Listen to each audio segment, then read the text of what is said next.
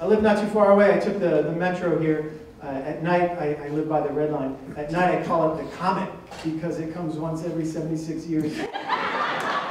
for, for many years, we all know, for many years, it was just science men. And then they said, fine, fine, we'll allow a science lady. And the first science lady was Marie Curie, who's the only person to win two Nobel Prizes in two different fields of science. And she discovered radiation. And she discovered the only substance harder than diamonds. It's an avocado from Trader Joe's.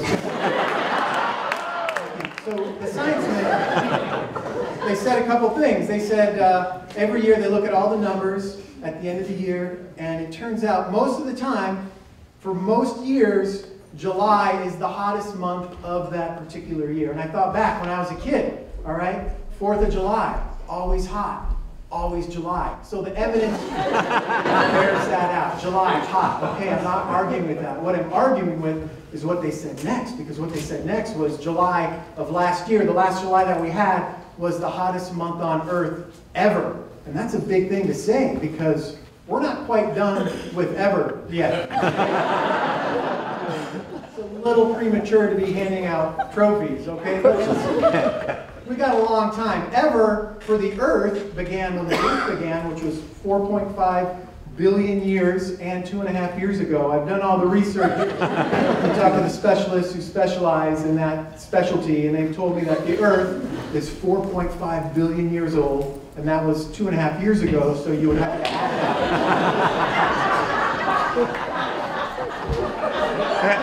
that.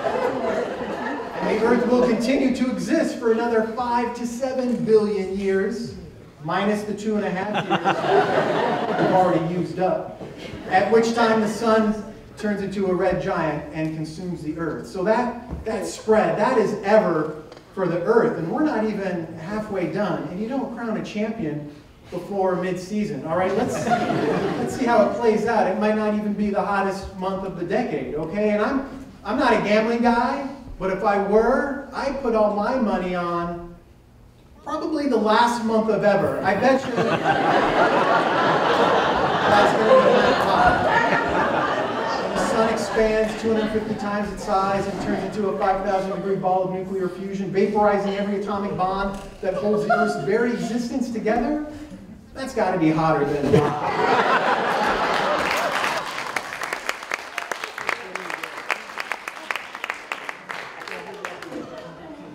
July was hot, all right, but I distinctly remember not vaporizing. And I have great ideas on how to fix global warming, but my ideas are so high over people's heads, I'll actually see them roll their eyes upward to try to see my...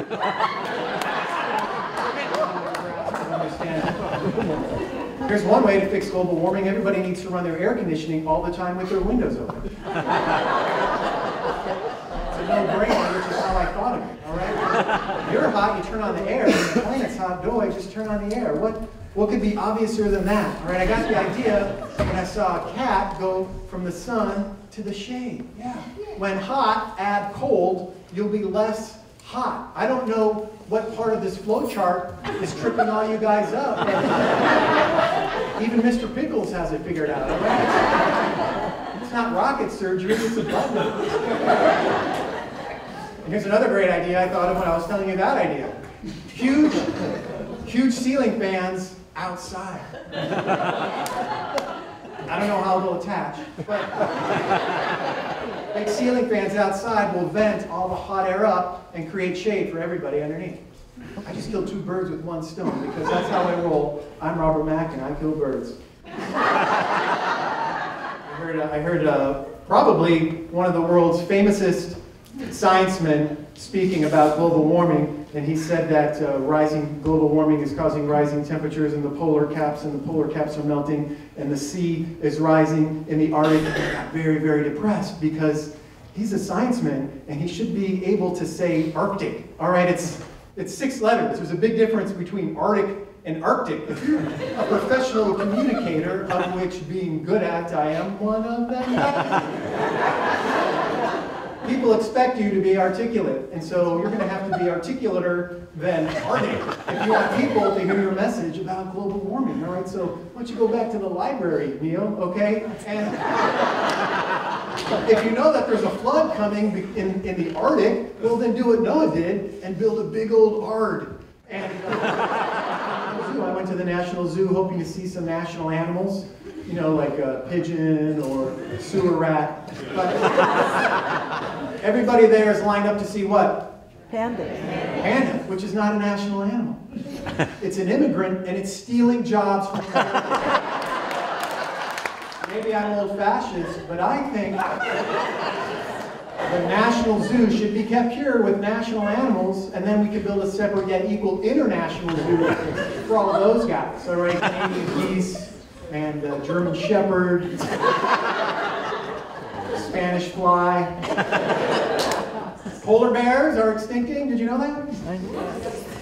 Extincting? Why are you telling me? I'm telling you.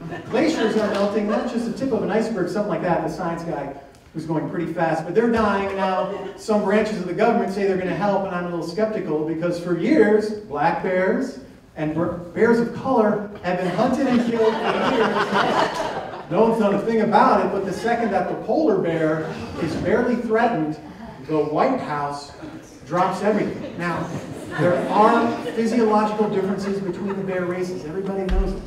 Polar bears evolved in the Arctic, and there are no trees in the Arctic, so they never learned how to climb trees. So as they evolve, they're missing certain muscle groups in the back, which is why white bears can't jump.